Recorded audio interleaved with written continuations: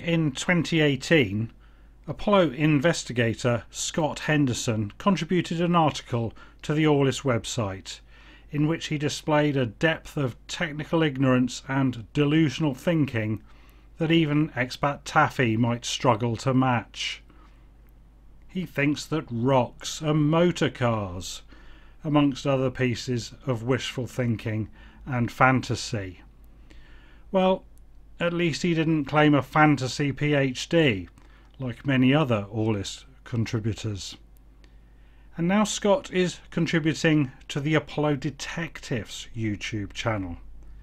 So what's he got for us there?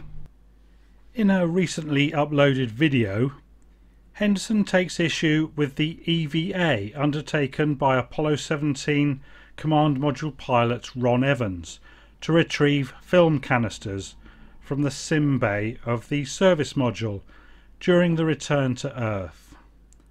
What's his problem here? Ron is receiving oxygen and comms through the umbilical. He also has on his back an emergency backup oxygen supply called the OPS, and he is wearing the Lunar Extravehicular Visor Assembly, or LEVA, over his pressure helmet. Henderson thinks both those things, the OPS and the visor, are logistically impossible for Evans to be using at this point in the mission and represent a continuity boo boo by NASA. Let's see why Henderson is utterly, gloriously, and clownishly wrong. Here's another screenshot from Henderson's video. It shows a life support backpack lying on the lunar surface after the final Apollo 17 EVA. The OPS, which sat on top of the backpack, is not there. Henderson thinks tools would have been needed to remove it. No, it just clipped onto the top of the backpack by sliding these metal feet into grooves on top of the backpack. The OPS itself was a completely separate system to the main life support. There was no interconnection of oxygen between them.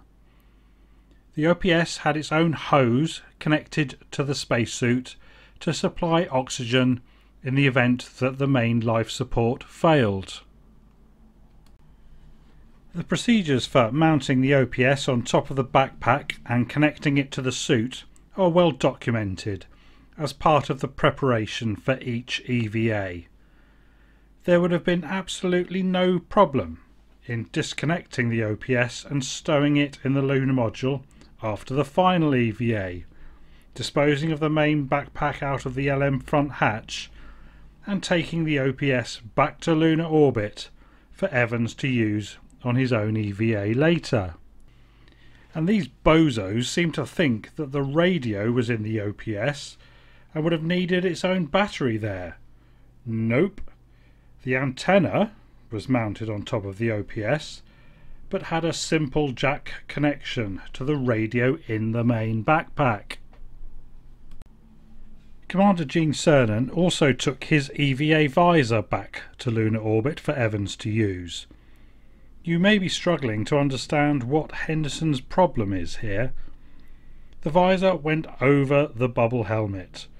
It was not part of the pressure suit. Evans had his own bubble helmet throughout the mission, as did the other two crew members. I've put a link to Henderson's video in the description box below. Why not pay a visit yourselves and try to work out what he's babbling on about.